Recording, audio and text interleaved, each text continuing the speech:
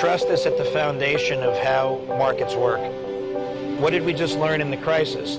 Regulation and transparency turn out to really matter. A lot of the markets that got us into trouble in the crisis were not regulated. They were not transparent. There was really no accountability. Markets like ours are stable, reliable, transparent, and highly regulated. Those are all the things that are really the foundation of rebuilding trust.